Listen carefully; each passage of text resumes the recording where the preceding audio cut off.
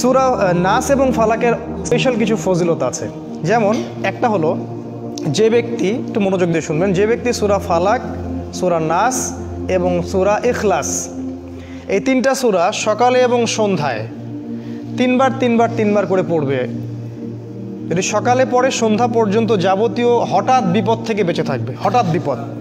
ধাপাস করে কোনো বিপদে পড়বে না ইনশাল্লাহ আপনি খেয়াল করে দেখবেন সব পরিবারে যাচ্ছে মাইক্রো নিয়ে বিয়ে খাইতে ডেট স্পট ডেট তাই না? হঠাৎ করে দেখবেন সকালে ঠিক মতো আসছে হঠাৎ স্ট্রোক নাই। হঠাৎ বিপদ ইনশাল্লাহ সে পড়বে না। যে ব্যক্তি সকালে তিনবার করে সোরা ফালাক, সোরা নাস, সোরা এখলাস পড়বে।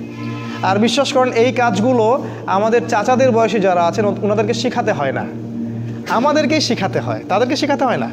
তারা এগুলো আগেই থেকে জানে। আবার যে ব্যক্তি সন্ধ্যাবেলা সুরা ফালাক, সুরা নাস এবং ইখলাস তিনবার করে পড়বে। সারা রাত যাবতীয় ক্ষতি থেকে সে বেঁচে থাকবে, ইনশাআল্লাহ। এই হলো একটা বড় ফজলত।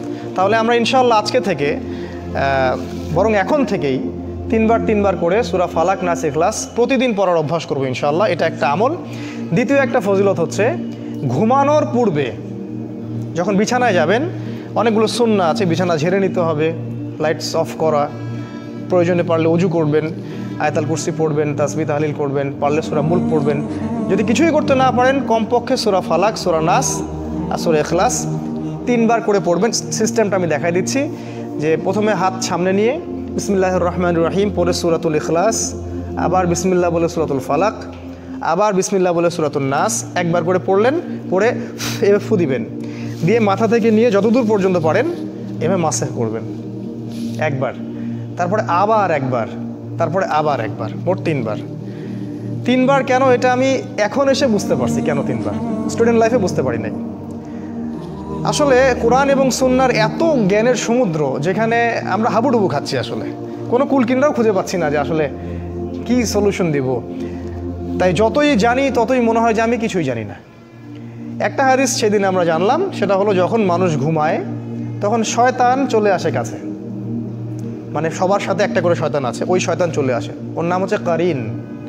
ওর নাম হচ্ছে কারিন, যেটা কোরআনে আছে। সে এসে এই যে আমাদের গর্দান আছে, এই গর্দানের মধ্যে তিনটা গিট দেয়। তিনটা গিট দেয় এবং প্রতিটা গিটের সাথে সে বলে, তোমার সামনে দীর্ঘ রাত তুমি ঘুমাও। তোমার সামনে দীর্ঘ রাত তুমি ঘুমাও। তোমার সামনে দীর্ঘ রাত তুমি ঘুমাও, আরামে ঘুমাও। রসুল্লাহ সাল্লাম বলছেন, যখন বান্দা যদি ফজরের আজান শুনে উঠে যায় তাহলে একটা গিট খুলে যায়। যদি সে উজু করে, তাহলে আরও একটা গিট খুলে যায়। আর যদি সে জামায়াতে এসে সলাত আদায় করে, তাহলে তিনটা গিটই খুলে যায়। আর যদি এটা কাজ, এই তিনটা কাজ আমরা না করি, সকাল আটটা, নয়টা, দশটায় উঠি, তাহলে তিনটা গিট নিয়েই সকাল করবে সে। তাহলে চিন্তা করেন তার সারা দিনটা কেমন যাবে। আর হয়তো এই কারণেই রাসুসাল্লাহ সাল্লাম তিনবার করে মাসাজ করেছেন, যাতে করে শয়তানের প্রভাবটা কম হয়।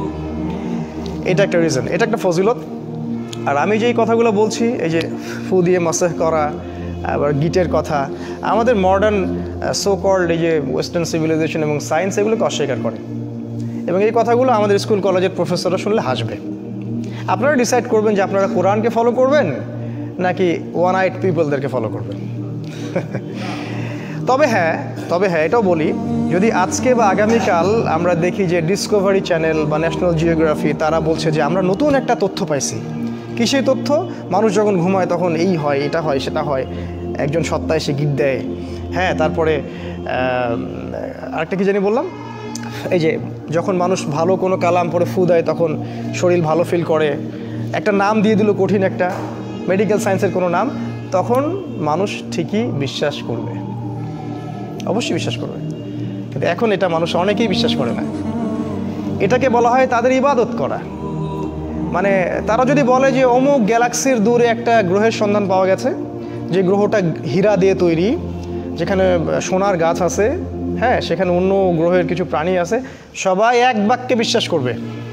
আমি চ্যালেঞ্জ করলাম, এক বাক্যে বিশ্বাস করবে পরের দিন। কিন্তু আল্লাহ কোরআনে বলছেন যে অমুক জান্নাত রেডি রাখছে, যেটা হীরা দিয়ে তৈরি, সোনা দিয়ে তৈরি, এখানে এটা আছে, সেটা আছে।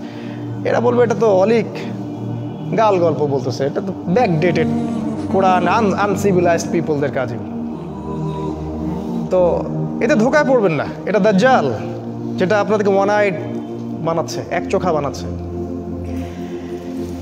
তাদের দৌড় এখন পর্যন্ত, ওই পর্যন্ত যায়নি, যেটা আল্লাহ রবুল্লাহ আলমিন চোদ্দোশো বছর আগেই নাজিল করেছেন।